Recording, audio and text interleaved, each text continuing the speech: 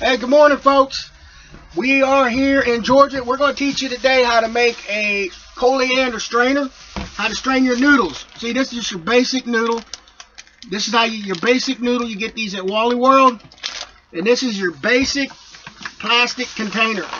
See? I'm going to cook these noodles, and I'll be right back. Oh yeah, uh, you can strain any kind of noodle. It doesn't have to be a certain type of noodle. You can strain any kind of noodle. You don't have to be profile on your noodle. Okay? I'll be back. Damn. Sorry to keep you waiting. I'm waiting on the water so I can cook the noodles. And then I'm going to show you how to make the strainer.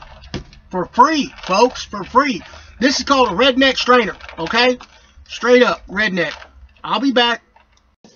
Okay, now I'm boiling the noodles. See?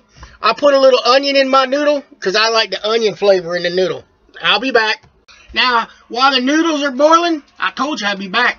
We're going to make the strainer real quick. This is just an ordinary container. I got to be fast because this costs money to put this on TV. So, ordinary constrainer, container. Now, look, I chose Folgers because I, I like Folgers coffee.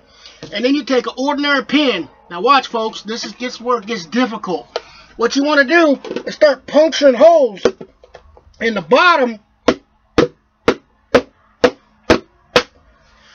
Well, let me, the pen broke. I'll be back. All right, I'm back. I'm back, guys. Look, don't use a pen. All right, a pen won't work. Depending on the container strainer, I got me a nice Phillips head screwdriver. Now watch, folks. That ain't working either. I'll be back. All right, I'm back. Uh, don't use a pen don't use a screwdriver. Try a knife, folks. A real sharp knife. This might work. Now watch. Now don't stab at yourself. Now watch. Watch your hands while you do this. You don't need a lot of holes because the strainer's gonna it's gonna leak out. Okay. I think I I made the strainer. All right. Now I'm gonna check on my noodles. I'll be back.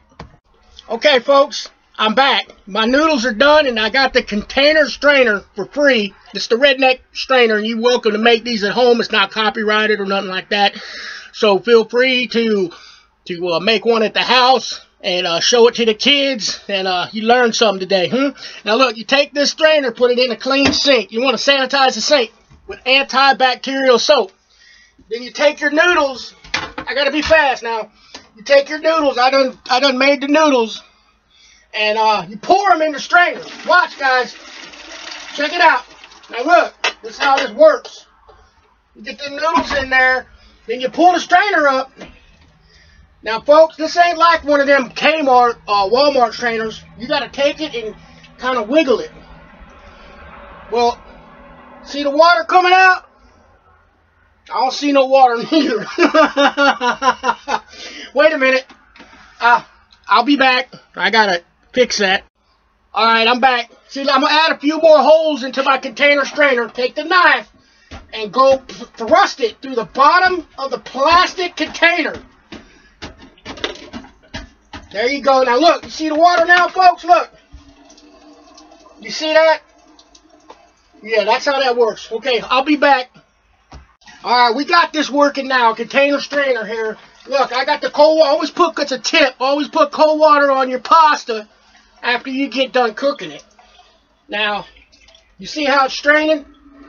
It ain't straining as like one of them fancy ones you buy at Walmart. This this is the redneck strainer, guys, and, and thank you for watching. Alright? We'll see you next time. I'll be back.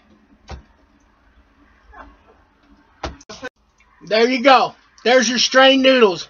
Ta-da! The redneck strainer container by Dirty D. Y'all have a great day now. I'll be back.